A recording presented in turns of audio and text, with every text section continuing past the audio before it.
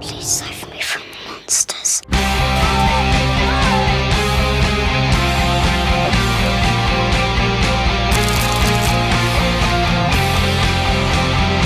You see these eyes? They're old eyes. And one thing I can tell you, monsters are real. Doctor Who returns, soon to BBC One and BBC One HD.